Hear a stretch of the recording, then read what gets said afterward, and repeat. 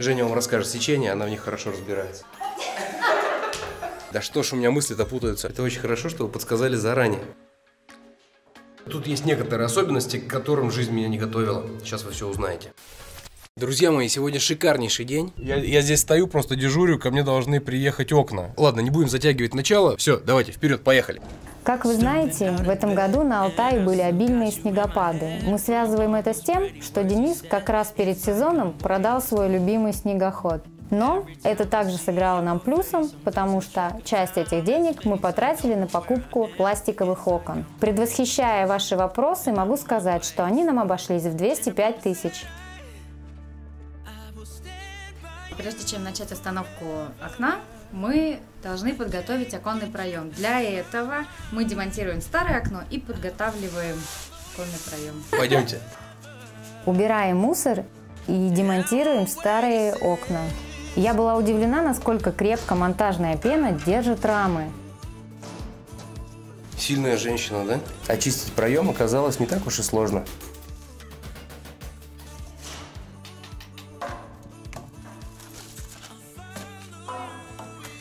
За годы строительства что только не приклеивалось к этому подоконнику. Теперь все подметем. Так как я сегодня веду выпуск, всю пыльную работу будет делать мой помощник. Так, сейчас надо подготовить окно для того, чтобы мы могли его уже устанавливать на место. Мне нужно убрать среднюю фрамугу. Для того, чтобы извлечь эту секцию, нужно опустить металлический язычок вниз, и она легко выходит. Фрамугу и остальные стеклопакеты устанавливаем на заранее приготовленную постилку из пенополистирола. А вот чтобы вынуть стеклопакет, придется немножко попотеть. Совет. Купите фирменную стамеску. Давай говори. Все, рама освобождена. Все, рама освобождена. Так говорю. Я не знаю, как У меня голос, у меня голос приятней. Ну, в смысле? Нежнее. Ну, в смысле. Ой, все. Понятно. В этих рамах теперь нам нужно установить по три пластины, потому что мы устанавливаем наши окна в пеноблок, а пеноблок не лучшего качества, поэтому по три пластины здесь и сверлим по три отверстия сверху и снизу. Сверху это будут анкера э, с расширением, а снизу под углом мы закрутим э, глухарь. Женя вам расскажет сечение, она в них хорошо разбирается. Так, сейчас, чтобы вы понимали, мы используем вот такие саморезы с буром. Продаются они в любом магазине, который занимается пластиковыми окнами. И вот такими пластинами 150-ками. Пойдемте фиксировать. Пластины устанавливаются крайне просто. Смотрите, просто э, отступаем приблизительно сантиметров э, 9-10. И вот так их монтируем в сторону дома. Это важно. Одна посередине и одна внизу. Так, с нижней стороны окна удаляем подставочный профиль, он нам больше не нужен.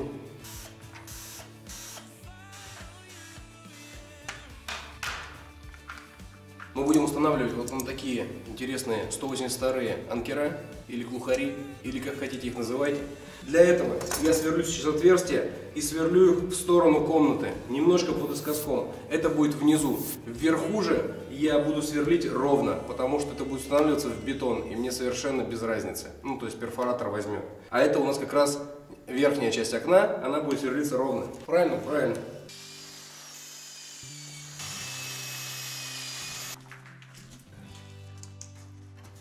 Это очень хорошо, что вы подсказали заранее, что их надо было ставить, не вставляя окно в проем.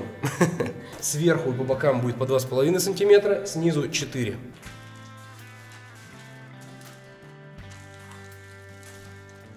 Ровно под стойку ставим, ровно под стойку, друзья. Но честно, мне с ними понравилось. И затягиваем. А теперь устанавливаем пакет в проем. Выше, да, часть? Как бы это хоть и полностью конструкция монолитная, ну, то есть имеет общую концепцию, но на самом деле каждый отсек имеет свой уровень. И поэтому важно именно проверить уровень каждого момента и э, подтянуть свою стойку. То есть под каждым инпостом находится стойка, которая регулируется. Поэтому каждый раз, то есть каждый протягивая, я смотрю уровень. Прохожу сюда, здесь, здесь, здесь и везде вот так проходишь. То есть все, горизонты мы прошли, сделали расстояние 4 сантиметра, как по документам, для того, чтобы установить подоконник. И теперь я проверяя горизонты, закручиваю верхние саморезы для того, чтобы зафиксировать вертикальность рамы. Идеалочка. Еще один момент, на который стоит обратить внимание. Если я сейчас начну подтягивать вот эту пластину, то она в конце зацепит с собой раму. Поэтому прежде чем ее тянуть, отогните ее как надо и потом уже подготовьте саморез. Я понимаю, что сейчас кажется, что вот эта штука, она нифига не надежная. На самом деле очень многие вообще фиксируют рамы э, просто на монтажную пену. Мы дополнительно еще вот фиксируем на пластинке. Забиваем анкер 10 на 182 и подтягиваем его. Теперь нам надо все хорошо промочить, для того, чтобы была лучшая адгезия и лучше быстренько полимеризовалась наша пена. Как мне написали в комментариях. Спасибо вам большое. Поехали!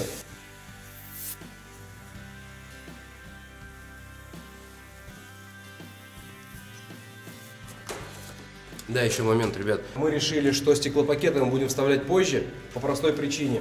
Э, во-первых, нам будет удобнее обрезать пену, во-вторых, пройти мастикой, в-третьих, оборвать весь пластик через такие проемы, чем мы это бы делали через стеклопакеты. Тем более скоро мы будем ставить с вами э, окна на втором этаже. Поэтому стекло мы будем вставлять после того, как пропеним все это дело. Ник... Никогда так не делайте. Не мусорьте, друзья. Сразу совет. Введите пенный шов в два слоя, чтобы не было свещей. Денис сначала проходил внутренний периметр, а через несколько минут внешний.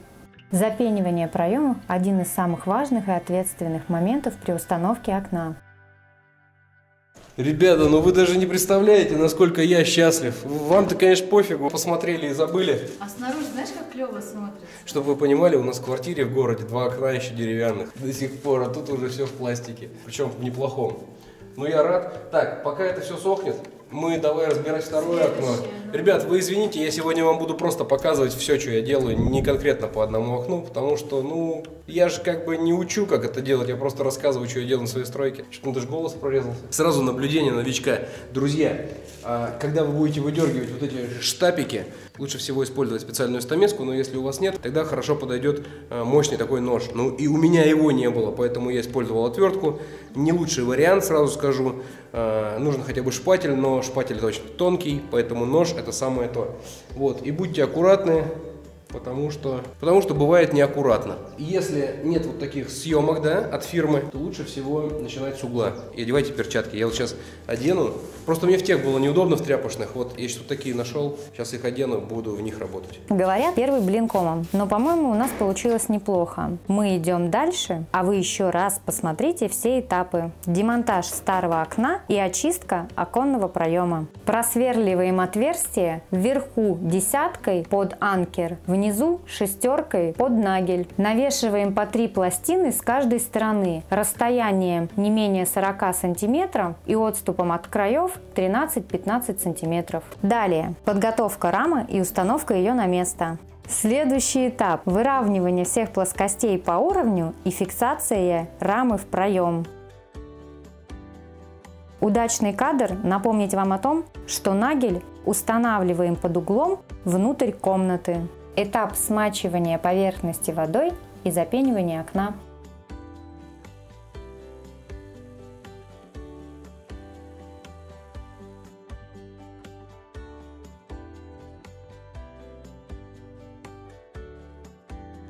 А теперь этап, о котором я еще не говорила. Мы срезаем монтажную пену и подготавливаем поверхность к обработке герметиком. Есть два способа пара и гидроизоляции пенного шва. Это пленка, что очень долго и нудно, и герметик, который мы и использовали. Снаружи идет паропроницаемая гидроизоляция, внутри пароизоляционная. Я думала, это будет дольше, но в принципе все легко и просто.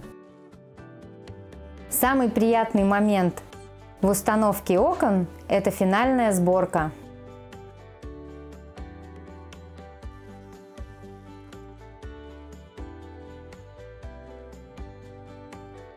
Шестое окно за сегодня. Настроение отличное.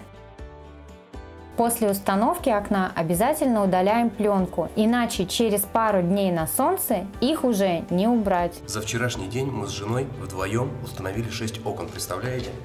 Следующий этап мы теперь ставим окна, которые соединяются перемычкой. Это будет лестничный марш. Тут есть некоторые особенности, к которым жизнь меня не готовила. Сейчас вы все узнаете. Денис сейчас говорит о том, как мы намучились при соединении двух профилей. Профиля никак не хотели входить в пазы, а струбцин под рукой не было. Ребят, сейчас я вам все покажу. Это у нас низ профиля. А он будет соединяться, соответственно, с верхом профиля. Для того, чтобы это все соединить, у нас есть такой соединительный элемент, который называется кроватка. Вот он. Мы его будем набивать вот сюда. Чтобы нигде ничего не сифонило, нам нужно сюда проклеить специальную уплотнительную ленту. И лучше всего, когда проклеивается она в два ряда. Это оптимальный вариант. Тогда уже тепло будет идеальное. И все это надо стянуть саморезом. Саморез устанавливается с таким шагом 13 сантиметров, 13-15 сантиметров от края и каждые 40 сантиметров по длине. Она еще и гофрированная. Смотри. Отлично. Идем, идем, идем, идем, идем. То есть, короче, мы наклеили вот так, но мы наклеили неправильно. С какой позиции? А, у нее замок специальный. Если мы сейчас будем забивать, у нас помешает эта штука. Короче, поэтому, поэтому мы вот эту часть ставим сюда, так как мы уже забили. Наклеили. Наклеили, да. А с этой стороны мы наклеим внутрь паза и решим проблему. Все. Так, и подставляем сюда теперь вверх. Насильственным путем и с помощью танцев с бубнами через полчаса проблему эту мы решили. Но впереди у нас французское окно. Что делать? Может быть, вы нам подскажете? Не совсем стандартный, но фирменный демонтаж от Дениса и вновь очистка проема. Ну а дальше все по старой схеме. Наклейка на стекле ТОП означает, что стеклопакет имеет напыление, которое не пропускает ультрафиолетовый свет, а соответственно у вас не будет расти рассада на подоконниках. Учтите это.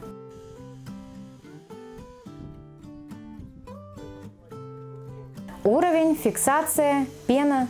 Ну а герметик это моя задача. Широкую на широкую давай. Да все правильно ты делаешь. У меня аж голос прорезался. Ты прям не жалеючи машь, и все хорошо будет.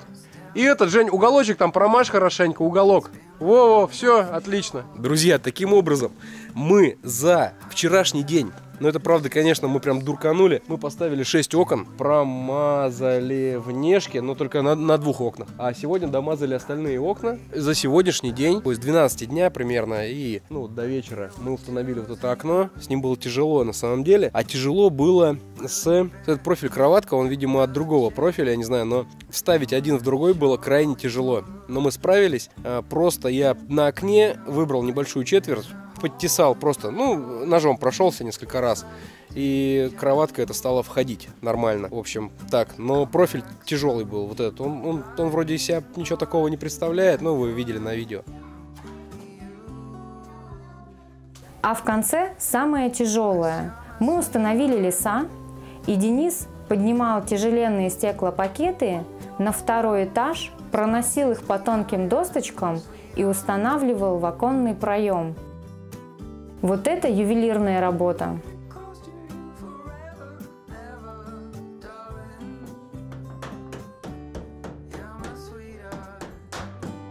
Хочу сказать, что видос, который вы сейчас посмотрели, это только начало. А, сейчас вы меня будете ругать за непристегнутый ремень. Такой затравочный вариантик, чтобы просто вы меня покритиковали, может похвалили, не знаю, за ту работу, которую я провел. Голос потихонечку возвращается, слава богу. Я крайне этому рад. Впереди у нас остались самые сложные моменты. Это два француза. Они сложные, реально французы. Да что... Ну, друзья, простите, но у нас в городе такие дороги. И еще чердак. Вот это я прям не представляю, как поднять без тельфера. Вот эти трапециевидные окна, в начале видоса вы помните их таскали.